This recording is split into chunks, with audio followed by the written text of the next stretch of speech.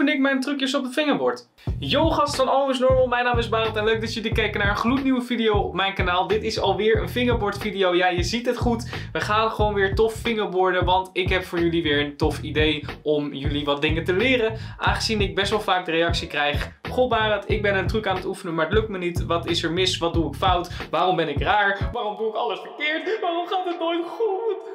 Ik weet eigenlijk ook niet waarom ik dat deed, maar goed. En daar is deze video voor. Want ik ga samen met jullie een trucje leren die ik al wel een beetje aan het oefenen ben, maar nog niet helemaal. Dus we gaan samen dit trucje doornemen en hoe ik het dan leer. Want ik merk heel erg aan mensen dat ze een beetje hangen aan het feit dat je per se via één tutorial moet gaan werken. Of uh, dat je een beetje vast komt te zitten en niet zo goed meer weet wat je moet doen. En daar is deze video voor, want we gaan samen dus een trucje leren. Yo, trouwens, voordat de video verder Deel jouw setup even in mijn Discord. Het linkje staat in de beschrijving. Want volgende week wil ik jouw setup gaan raten. En sowieso wil ik zoveel mogelijk setups zien van al mijn kijkers. Want dat lijkt me super leuk. Dus doe dat eventjes. Klik op het linkje en deel een foto van jouw setup. Wij gaan samen het volgende trucje leren.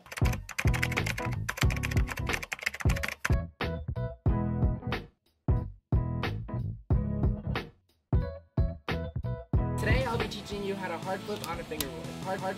Ja, de hard flip. Een flip die ik nog steeds erg moeilijk vind en ook niet heel erg vaak land. Ik kan hem wel, maar dan gewoon vooral random. Uh, random lukt hij me wel, maar we gaan gewoon samen eventjes doornemen hoe dit gaat. Dat ga ik ook laten zien, zeg maar, hoe het dan ongeveer in zijn werk gaat als ik het dan ga oefenen. Alright, na, het kijken van de video ben ik er wel achter gekomen dat je dus verschillende manieren hebt om dit trucje te doen. Dus we gaan eerst even doornemen. Hij zegt een kickflip. Uh, nou, die kan ik dus niet.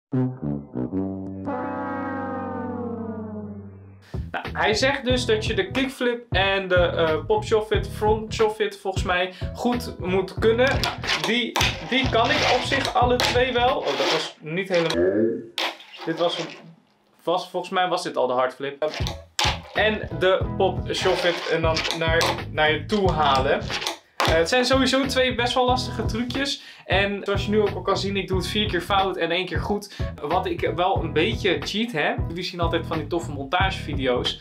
Weet dat ik daar gewoon nou, ruim een uur mee bezig ben, minimaal, om het op te nemen dat zou misschien voor jou als verwarring komen. Oh mijn god, hij is toch niet zo goed met fingerboarden. Maar zo is fingerboarden een beetje. Alle video's die je ziet van de mensen die veel uh, tricks achter elkaar doen. Dat is gewoon heel vaak dezelfde trick oefenen en uh, fout doen. Totdat hij een keer goed gaat. En die gebruik je natuurlijk in je montage. Net zoals met skateboarden. Ik heb trouwens ook nog een skateboard gekocht. En uh, dat ding is super vet. Ja, die gaan we hopelijk aanstaande zomer ook gebruiken voor video's. Alright, dus we gaan nogmaals een keertje kijken.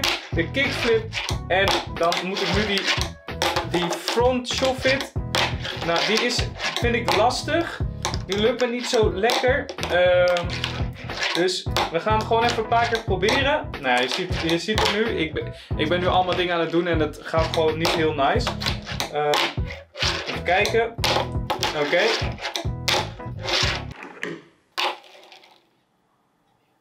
Ik heb zojuist de hardflip geland. En dat was niet helemaal de bedoeling. Maar um, ja, we gaan nu samen. ik kan het waarschijnlijk niet, nog een keer. Nee, ik kan het niet nog een keer. En dan vind ik nog steeds dat ik het trucje niet kan. Dus ik ga jullie even wat dichterbij nemen. Dan gaan we samen het trucje oefenen. Totdat die goed lukt. En dan ga ik jullie laten zien hoe ik dat dan doe. Wat mijn ondervindingen zijn. En hoe lang dat dan ongeveer duurt. Hoi, welkom. Dit is uh, de close-up van de trickoefening. Hier gaan we samen doornemen hoe ik hem ga oefenen. Het begint lekker. Maar we hebben dus de kickflip, die echt totaal niet clean was. En de shuffit naar hier toe halen. En die twee moeten wij dus gaan combineren tot één trick. Nou, daar gaan we dus eventjes uh, naar checken hoe we dat gaan doen. We gaan eventjes de tutorial er ook weer bij pakken. Ik draai hem zelf ook even om. Ik heb hem net dan wel weer gekeken, maar um, het is wel handig om uh, dat ook weer erbij te hebben. Dus we gaan even kijken. Oké, dus hij zegt de back finger on the back of the tail en de front finger on the top. Uh, ik krijg nu gelijk al wel een beetje de beweging van de truc. Alleen ik moet hem nu nog, natuurlijk nog even goed doen. Uh, dus we moeten deze moeten we combineren met die. Dus dan, als ik dan even af en toe doe ik dan gewoon een lekker even een kickflip tussendoor. Naast dat het gewoon super chill voelt, is het ook gewoon lekker om het zo te oefenen.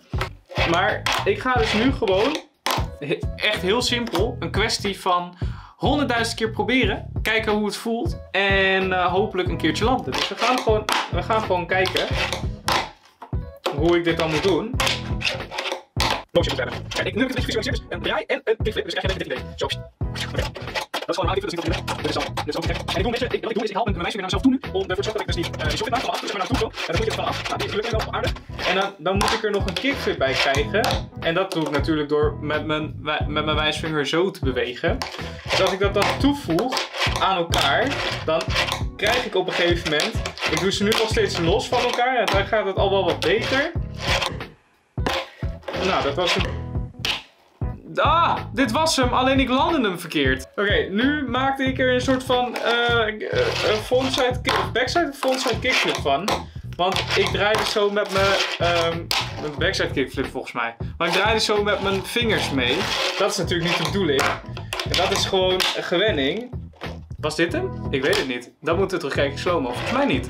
Hallo, dichtbij Barend, hallo. Meestal bij het oefenen van dit soort tricks doe ik lekker een muziekje aan. Kijk de video een aantal keer en eh, hoop ik hem zeg maar op die manier lekker te leren. En zo doe ik stap voor stap doe ik een ander trucje. En ehm, ben ik gewoon de hele tijd bezig met het oefenen van de tricks. Ehm, nou, naast dat we dan volgende week dus jullie boordjes gaan checken. Voor de week daarna. Dit was volgens mij ook wel sick. Ik weet niet, kijk terug. Ja, dat is ook. Alright, eh, maar voor volgende week heb ik ook weer video we gaan kijken. En voor de week daarna heb ik ook weer een video over hoe jij je vingerwoorden en zo van overleg kijken. Eh, ook de bedoeling is. Zit er ook trouwens. Ik heb hem, eh, ik heb hem een beetje heb ik weet. Dat was wel weer, niet. Oeh, bijna. Ik heb hem door. Nee. Oei. Dat was hem. Dat was hem al, joh.